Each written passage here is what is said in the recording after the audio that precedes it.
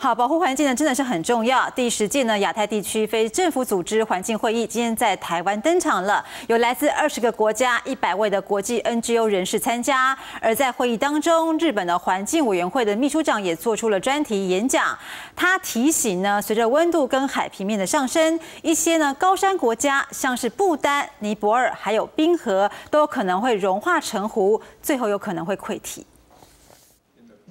已经连续举行了十年的亚太地区非政府组织环境会议，今年在台北举行，各国的 NGO 代表齐聚一堂，一起来关心全球环境议题。而日本环境委员会秘书长四田俊一发表大会演讲，揭露亚太地区面临最严峻的考验还是全球暖化，不止在去年引发各地天灾不断，现在各界更最新发现温度下降造成冰河融化，产生不少冰河湖，正威胁不丹、尼。